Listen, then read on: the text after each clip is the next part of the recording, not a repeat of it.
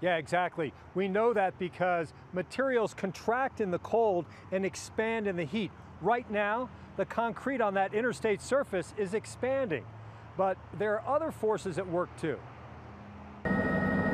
That's a terrible thing to have happen on an interstate. And so we want to get in there, shut down the affected lanes right away. This was the scene on I 215 in Taylorsville Tuesday when the concrete expanded and had nowhere to go but up. There's no sign of when and where it's going to happen. Statewide pavement engineer Jason Simmons tells me our interstate surfaces are made of concrete panels connected by contraction joints. We know it's going to crack.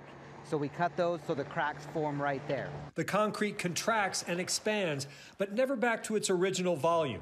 Over time, rocks and grit get in the joints, which keeps the concrete from moving back and forth.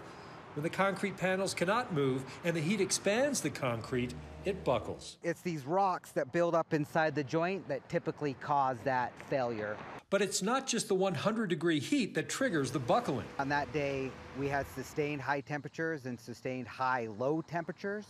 And so that material was never able to contract back down and relieve the pressure. Not a big problem from a paving standpoint, he says, but a serious problem for traffic. It happens anywhere from a dozen to two dozen times a year. It's kind of an unwritten rule for a lot of our maintenance folks that they won't take time off around the last week of June, first week of July, because we know that we're going to see these type of issues. So if you see buckling or crumbling pavement while you're out driving, call 911 because that is an emergency and UDOT wants to get on top of it right away. Guys? All right, Jed Boal live for us this evening in Salt Lake. Jed, thank